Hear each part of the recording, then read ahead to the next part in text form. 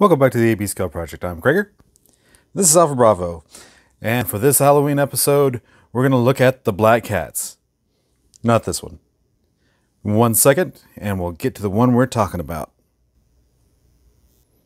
That's right. Today we're going to talk about the Hasbro PulseCon Ravage. Let's go ahead and get Alpha Bravo out of a cowering position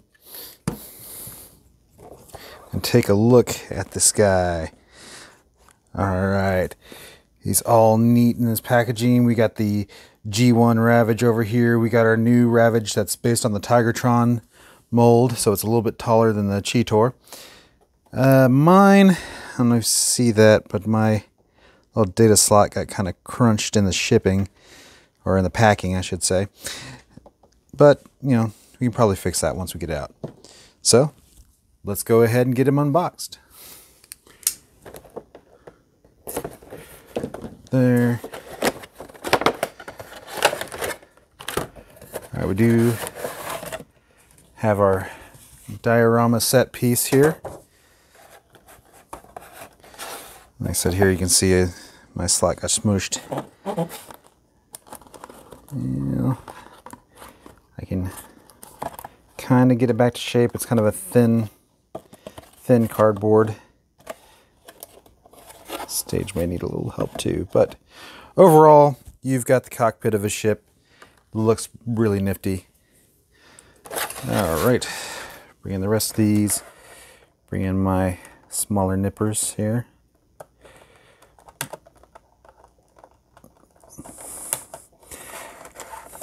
All right, we got the uh, G1 Ravage here. Well, yeah, they actually didn't strapped down as missiles. They're just in the package. So we can transfer him.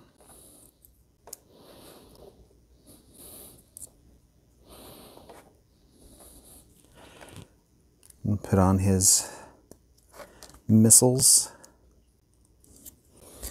So you have G1 Ravage. Pretty cool. And of course, you know, this is meant to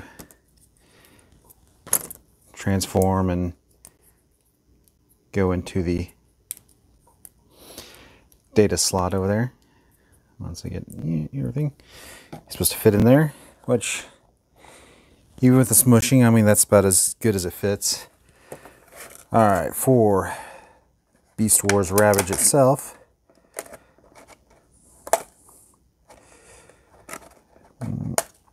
through here.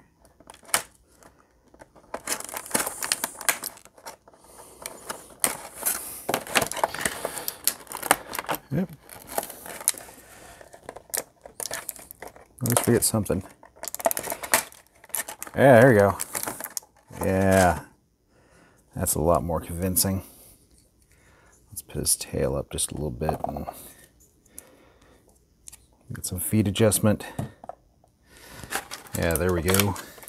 We'll go ahead and get these guns out.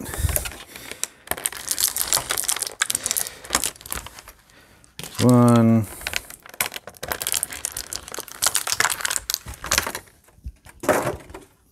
There's two. All right. Now we got a ton of these lying around now. But sweep those to the side take a look at these guns. I mean, these are they're very similar to what he had in the show. So I appreciate that, and they also, you know, can tab into the side of his beast mode, so he can kind of look like the G1 Ravage. As to the figure itself, that head sculpt, I really like it. That came out really well. Let's see if we can get a little bit better lighting on it. Yeah, that looks really good like that profile. Really strong. The overall look just looks great.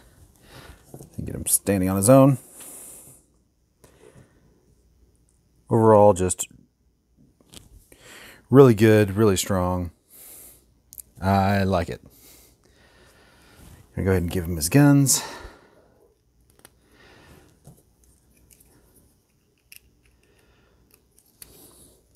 Give him a good, yeah.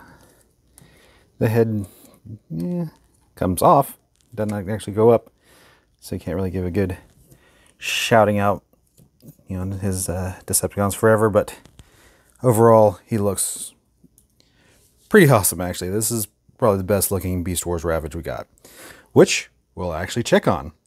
So one sec, and we'll do some swapping.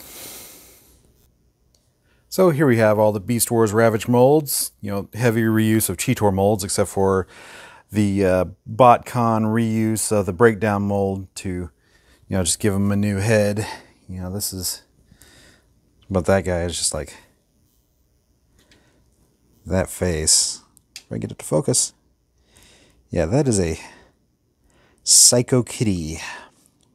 Ba -ba, ba -ba -ba -ba -ba. Anyway, so He had the original Cheetor, which was actually released as Shadow Panther to begin with, which we'll get to Shadow Panther next. But this was originally released as Shadow Panther, was repurposed as Beast Wars Ravage in the beginning.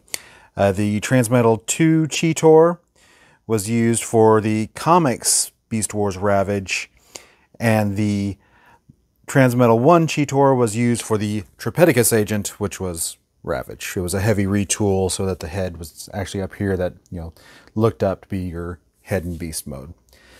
But anyway, you look at these, you know, first off, we're just going to look for show accuracy because all these were used in a comic at one point or another. So for the Beast Wars show accuracy, first off, we'll get rid of the BotCon for not having a beast mode. Now, primarily the original Shadow Panther and the Transmetal 2 Cheetor Ravage were really only in the comics. So since they weren't aren't really show accurate, we'll go ahead and get rid of them. Now we're down to the Tripredacus Agent Ravage and our PulseCon exclusive Ravage. Between the two, uh, the PulseCon wins. I mean, I, I still can't get over the uh, arms that are backpacked up there. So we'll go ahead and remove the Tripredacus agent. So the winner is the PulseCon exclusive. As I said before, he looks really great. And also, as I said before, this is based on the Tigertron mold.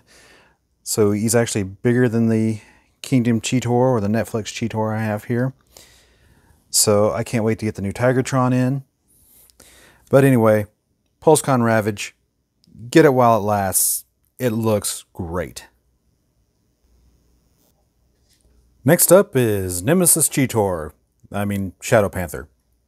But anyway, uh, this guy was a Predacon so devious that he copied Cheetor's body to be able to ensnare Maximals. It was also a good way for Hasbro to recolor Cheetor molds.